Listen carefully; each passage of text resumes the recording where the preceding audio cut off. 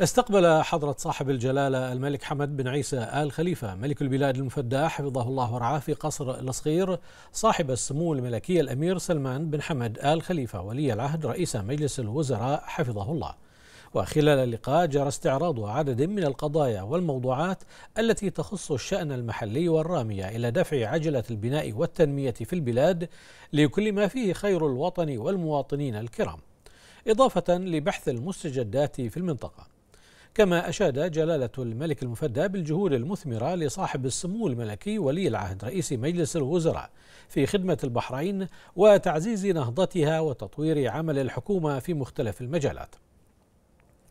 وبمناسبة بداية العام الدراسي الجديد أعرب حضرة صاحب الجلالة رعاه الله عن خالص تمنياته لجميع الطلبة والطالبات في الجامعات والمدارس الحكومية والخاصة والمعاهد ورياض الأطفال بكل التوفيق والنجاح.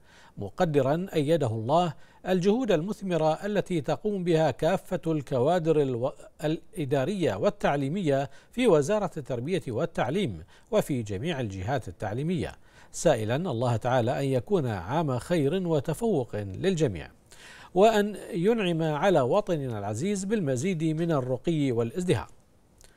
كما استقبل حضرة صاحب الجلالة عاهل البلاد المفدى حفظه الله ورعاه بحضور صاحب السمو الملكي ولي العهد رئيس مجلس الوزراء حفظه الله عددا من أهالي محافظة العاصمة الذين تشرفوا بالسلام على جلالته معربين عن بالغ اعتزازهم بلقاء جلالته وخالص شكرهم وامتنانهم على ما تحظى به محافظة العاصمة من رعاية واهتمام من جلالة الملك المفدى.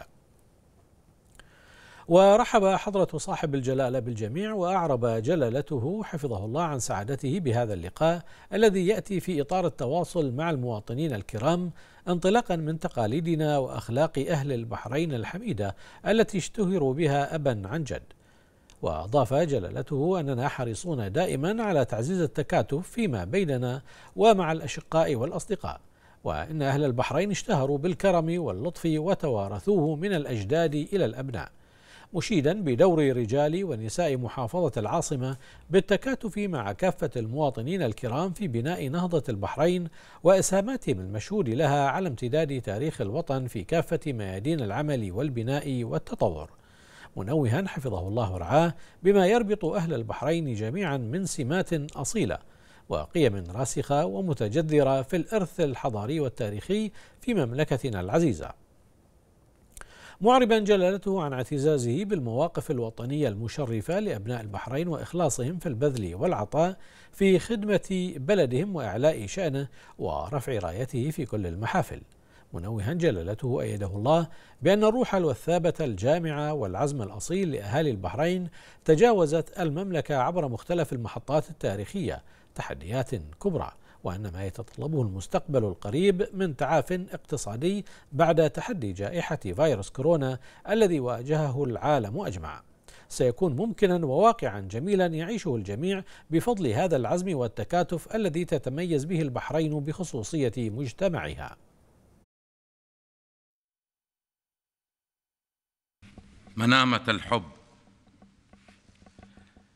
منامة الحب ضمي طفلك النازقة. منامة الحب.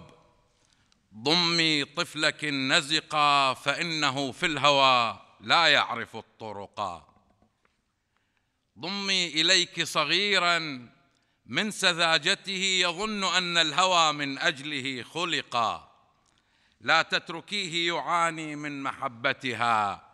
فإنه من لهيب الشوق قد حرقا وهدهديه فإن الجفو أرقه وهو الذي طالما قد أرق الأرقا وتمتمي بحروف الحب هامسة حتى يعود من الأيام ما أبقى. فقد علمت بأن العمر آذنه بالشيب لكنه للآن ما عتقا ما زال يعشق ليلى وهي سادرة عنه وما زال من تذكارها فرقا.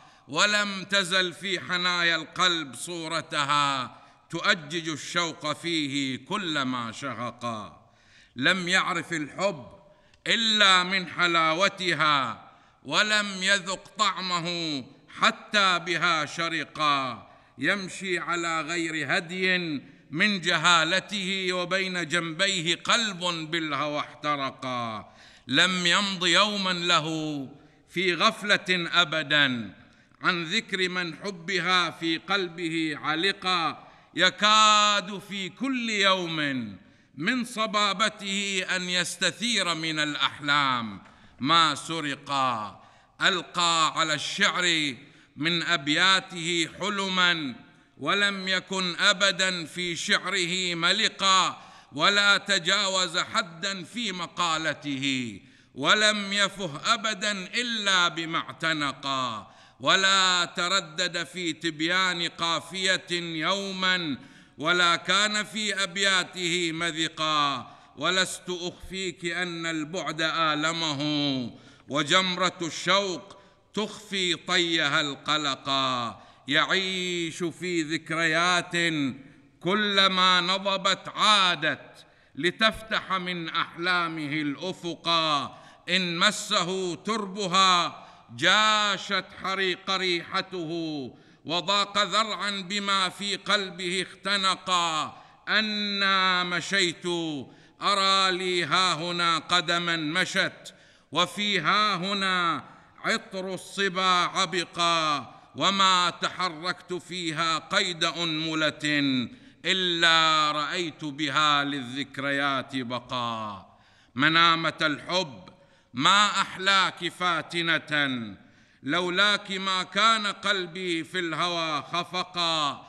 يا عذبة الروح يا أنغام أغنية يا عطر غانية صبحا ومغتبقا. ويا عبيرا إذا استنشقته نبضت روحي بكل جميل باسمك التصقا. ويا ربا عزة شماء شامخة وبيرقا رف للعيوق معتنقا أرى بك تلكم الأيام حالمة وكل شبر بك ألقاه مؤتلقا.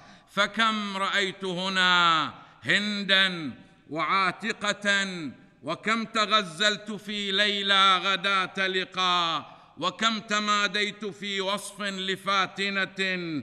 كأنما حسنها فجر قد انفلقا وكم رأيت جمالا لا يعادله كل الجمال الذي في الناس قد خلقا حسن الطباع وطيب الخلق في شرف وعفة وحياء يسكن الحدقا يفوح من حسنها طيب إذا خطرت ومن سناها تنير الليل والغزقا أعزز علي بأن ألقاك خالية من الأحبة والأهلين والرفقا وأن أراك وفي أرجائك اجتمعت ذكرى تلوح وليل يرقب الفلقا ضمي إليك محبا عاد من زمن تضمن الشعر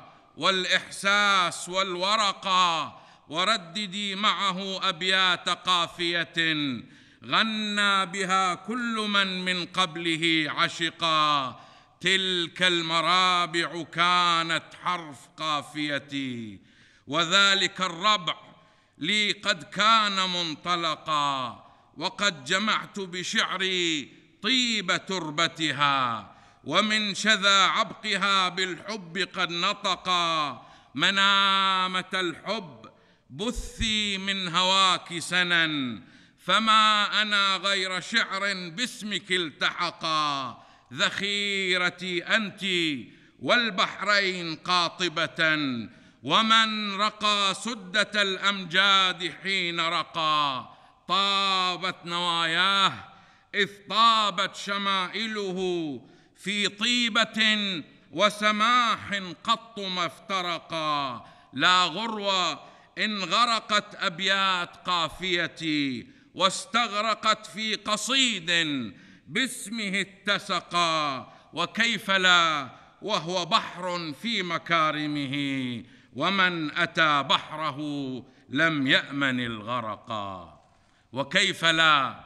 وهو بحر في مكارمه. ومن أتى بحره لم يأمن الغرق جاءت إليك أبا سلمان صادقة وقلما أن يقول الشعر من صدقا جاءت إليك أبا سلمان صادقة وقلما أن يقول الشعر من صدقا محض الحقيقة لا غول بها ابدا ولا خيال يثير العثير الرنقا أصفى من الصفو إذ حطت بساحتكم وكل حرف بها أضحى بكم القا أرى المكارم منكم فيض قافية فالحب والشعر في عليائك اتفقا.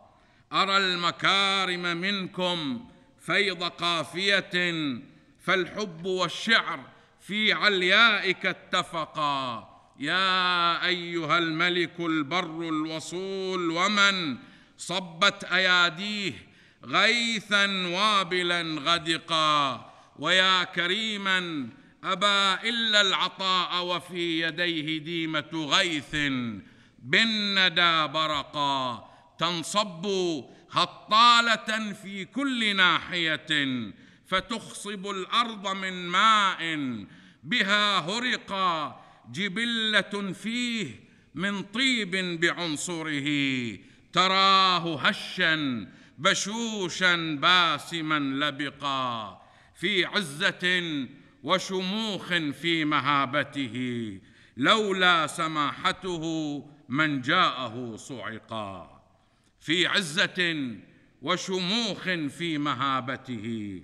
لولا سماحته من جاءه صعقا وقد تراه لدى اللأوى وقد تراه لدى صعب ومعضلة إلا فتى في جميع الأمر قد حذقا وقد تراه لدى اللأواء ذا ثقة. والله ما خاب من بالله قد وثقا وما تعجل إلا حين مسألة. من سائل مملق أو قاصد طرقا يا من بنى لعلى البحرين شامخة تناطح القمم الشماء مرتفقا. ومن بحكمته أحيا البلاد كما بعزمه شاد عنوانا لها ووقى الفارس الفذ من دانت لهمته. اعتى الصعاب ولم يشكو بها رهقا. يا أيها الحب خيم في مرابعنا ودم لنا يا أبا سلمان. فيض نقى يا أيها الحب خيم في مرابعنا ودم لنا يا أبا سلمان. فيض نقى يا رب أيده في حل ومرتحل وافتح بخير له ما ارتج أو غلقا واحفظه يا ربي في خير وعافية.